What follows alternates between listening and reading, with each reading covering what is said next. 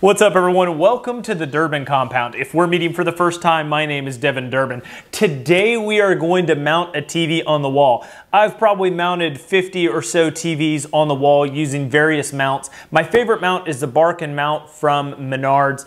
Uh, nonetheless, get ready, strap in, because this is one of those projects where you need a lot of patience, and it's never gonna go your way, no matter how many times you've done it. So take it from me. I hope that you find value in today's content. I'm gonna try to show you guys everything that I know and just some tips and tricks along the way. Hope you guys enjoy.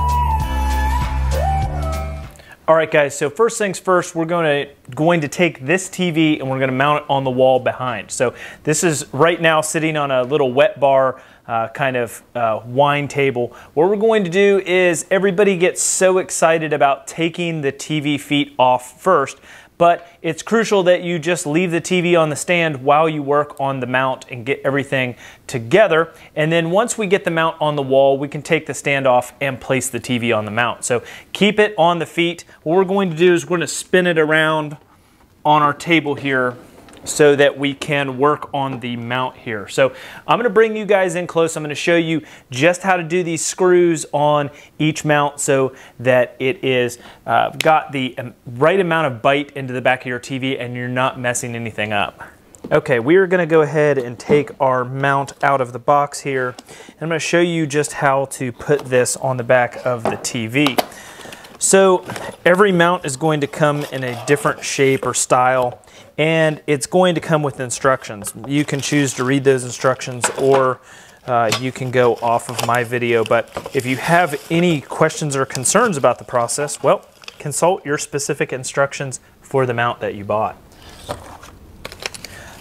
So in essence, what happens here is we have a standard plate like this and it's going to be about center in the back of the TV. Every TV is going to have different mounting screws and a different pattern here on where it is. That's why it comes with universal hardware. So we'll go ahead and get these universal arms out of the box here. And they all come with these uh, kind of uh, slider looking pad um, with a nylon lock nut here in the back. And uh, that's basically to attach to our, uh, our plate here. And we're going to fan these out in a manner that uh, will catch all of our screws and hold the TV nice and firm. So I'm gonna go ahead and uh, let's take the uh, camera down to the floor. I'm going to show you how to put this together and then we'll kind of fit it up on the TV and I'll show you the next important step.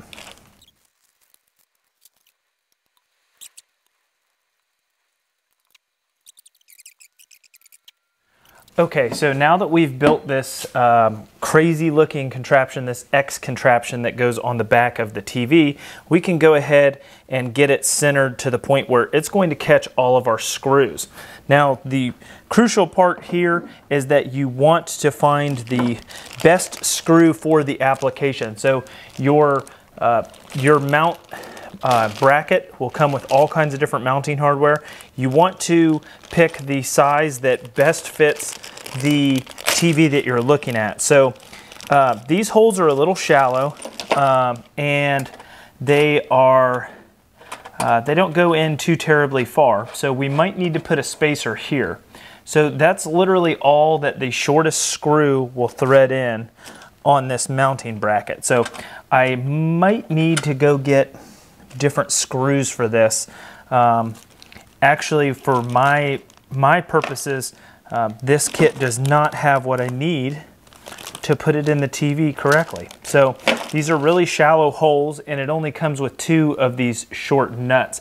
So two of these short bolts here. So um, good thing I have another set of uh, set of TV mount parts um, it does come with four of these long ones. So uh, it does have longer screws, but of course these are going to stick out considerably further than uh, what I need. So all of that would basically be uh, needing a spacer. So um, I'm not sure why my uh, my autofocus isn't working, sorry. But see this, uh, this bolt is sticking out considerable amount and I'm not going to leave all that for uh, a spacer to make up that distance. Now it does come with uh, four spacers and they're black plastic spacers and I will use those up here for the top of the mount but I'm going to get a, another set of screws. If you run into this situation where the screws are too long for your application, don't run them down into your TV with excessive pressure. Imagine that if you break the back of this, uh, this metal piece here, you can damage your TV or damage the mount. So you don't want to over tighten these or strip these out because this is what's holding your TV on the wall. So keep that in mind.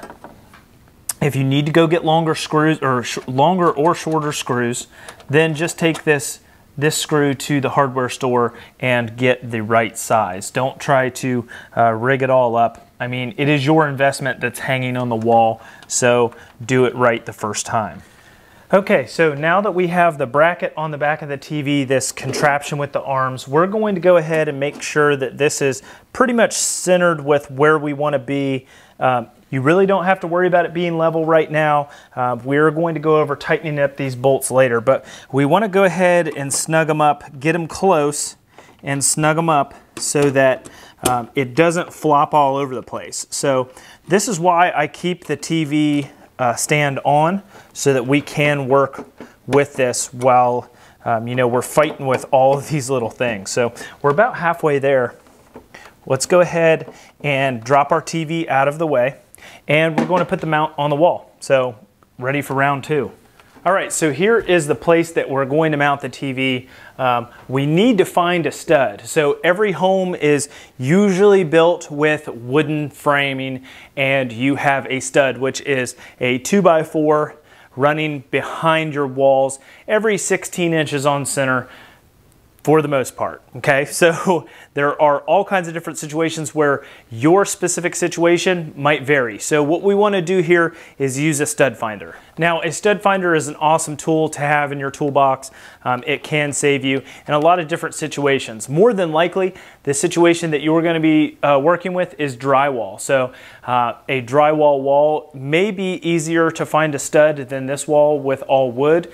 Um, you can even use a magnet to, to find the head of the screw on the wall and you'll have a set of screws that go up and down the wall. So another tip if, if you need to and you don't have a stud finder, you can find a switch or a, uh, an outlet in the wall and you can determine whether the stud is on the left or right hand side of that outlet or switch. Now you can just take off the cover. I'm going to show you that right now and we can identify which side the stud is on. Okay, this is a decent uh, way to find out where the stud is in your wall. You can take off your uh, electrical cover plate here, take your outlet cover plate off, and you can usually look in the left or right side of this box and you can see where the stud is along the side here. So just looking in through here, I can see that there's a wooden stud to the right of this outlet box. So I know that it is running vertically from my sill plate all the way up past my box and all the way up the wall. So we're gonna base that off of here. So we don't even really need a stud finder for this specific situation. If you don't have any switches nearby, well, or outlets nearby, well, you might have to use a stud finder. You can also find the closest outlet and measure over 16 inches on center to your next one, 16 inches on center to your next one, and you can uh, base that off the room with a little bit of tape measure. So we're gonna take a tape measure here and we're gonna measure to our, our nearest wall this way. And then I'm going to find the center of the stud. We're gonna rise up to where our mount goes and we're going to measure from the same wall over to our stud. Piece of cake. Okay, so we have this beam here that we can measure off of. So that's what I'm going to do in this specific situation. I could use my stud finder, but uh, a good old tape measure will show me exactly where that is. So I'm gonna go ahead and measure down to my outlet here, and it looks to me that 21 and 7 eighths is going to be center of the stud. So Somewhere up in here, I'm gonna be at 21 and 7 eighths. I'm gonna get my pen out of my pocket and I'm gonna do a rough mark here about where the center of my stud is.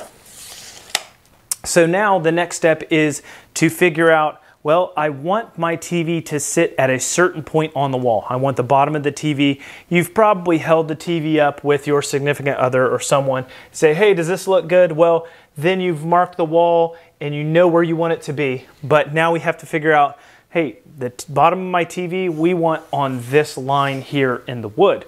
So now we have to measure up from that line where the mount goes. So we're gonna bring our TV back over and this is why we leave it on the stand we're going to attach the wall bracket and then measure exactly how far from the bottom of the TV to the wall bracket we are. And then that's where we will mark our hole.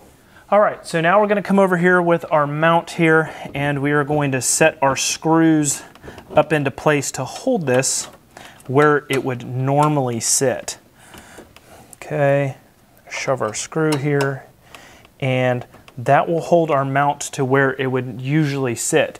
Now what we want to do is uh, some mounting instructions do come with the dimensions from the bottom hole to the bottom of the TV, uh, but everything varies, okay? So uh, what we wanna do is just take a measurement with our tape measure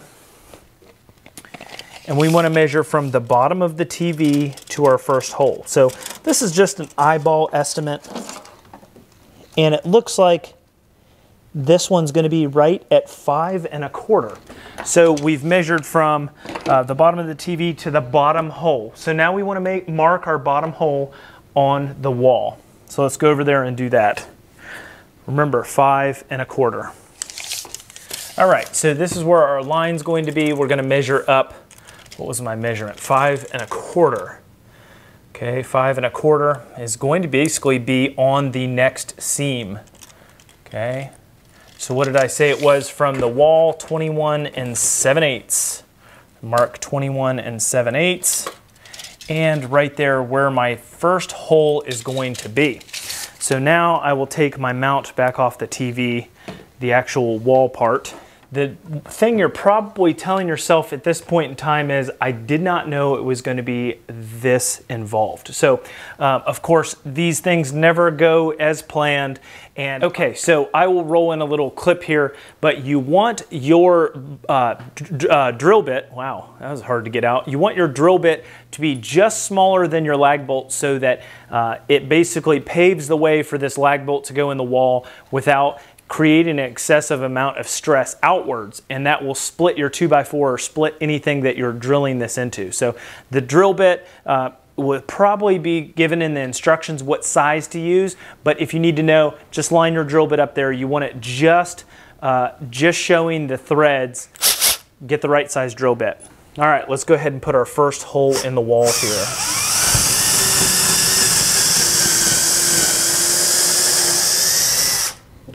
Now you want to drill the almost the entirety of the lag bolt so that you get the best amount of um, depth for this specific anchor.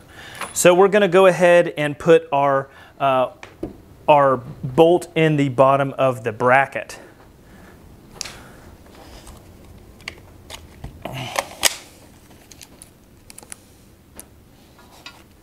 So in the case of this kit, these bolts came with a uh, a lag bolt that had a Phillips screw in there. Um, you can use a Phillips screwdriver. Um, that might take a little excessive force, but if you don't have a socket set or don't have an impact, that's something that still can get the job done. So what we're going to do is go ahead and run our, our uh, lag bolt in here a little bit here.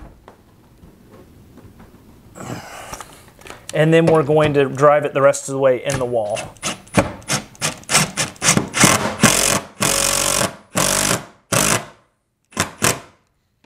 Okay, I've got it snug. And now we can level it here. So what I'm going to do is I'm going to take this directly out so that we can level it. So I'm going to bring you guys in close. I'm going to use a level uh, on my phone just because a lot of people don't have levels, no big deal. You can use an app on your phone. Here we go.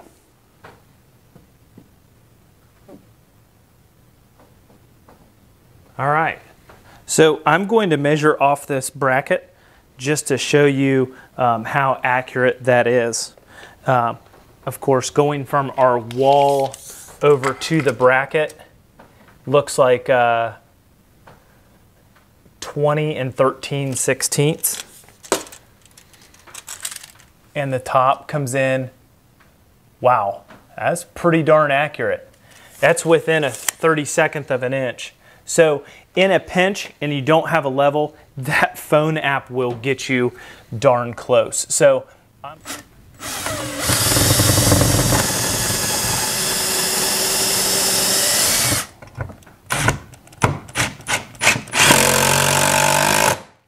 right, last step of the project. Let's go ahead and pick up our TV. Once again, this is why we left the mount or the uh, TV stand on here so that we could just pick it up. And we bring it up into our mount and we set it down on the grooves. So now that, all right, see we've left our, our mount loose here so that we can now position the TV here. So Let's go ahead and put our, our screws in here that keep this on the mount. So now this part of the project, we are going to set our tilt and tighten our bolt and nut down so that the TV doesn't tilt. Let's go ahead and tighten this side down. Seriously, seriously, you did not want to focus? Sorry, it was out of focus. But we're going to go ahead and bring our TV back into back into the wall. And these mounts all have adjustment screws on them so that you can um, adjust how easily they turn and move around. So um, don't think that it always has to be that stiff to where it is um, and then you can shore up your TV and voila, we've mounted the TV on the wall. So I hope you enjoyed today's video. I hope you got some value in the content. It is going to be a pain in the butt. You are going to need to have a little patience for this project, but nonetheless, it's something that you can do with a little bit of know-how, and hopefully this video um, brought value to you in your life. I hope to see you guys click that subscribe button. Give me a thumbs up or a thumbs down, whatever you guys are into, and we'll see you guys in the next video.